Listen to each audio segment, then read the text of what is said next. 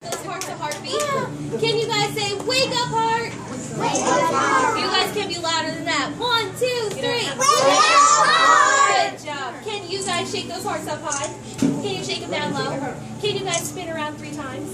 One, two, three. Can you guys do four great big jumps?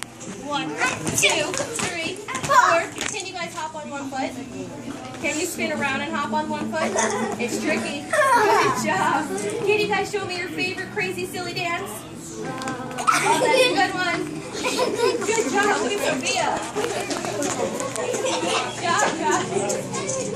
Can you guys rub those hearts on your eyes so that all your animals can see? And on your noses so that they can smell? And on your heads so that they're very smart?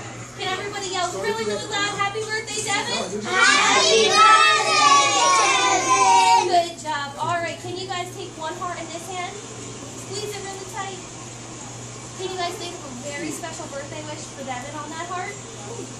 And then take your other heart, put it in your other hand, squeeze that one really, really tight, and think of a very special wish for yourself. All right, and once we have those wishes, you can take your heart and put it inside of your animal. If you need help, I'll help you, okay? And then I'm going to come around with Devin's bear, and you guys are going to put Devin's heart inside, okay? Devin.